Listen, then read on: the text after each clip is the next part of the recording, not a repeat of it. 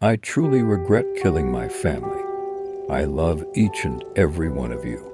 In 2009, John Hummel killed his pregnant wife, father-in-law, and five-year-old daughter.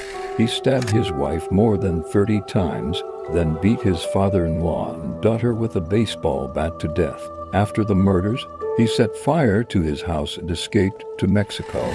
This was all a week before Christmas because he wanted to run off with a woman he met at the store. He was sentenced to death and was executed on June 29, 2021. His last words were,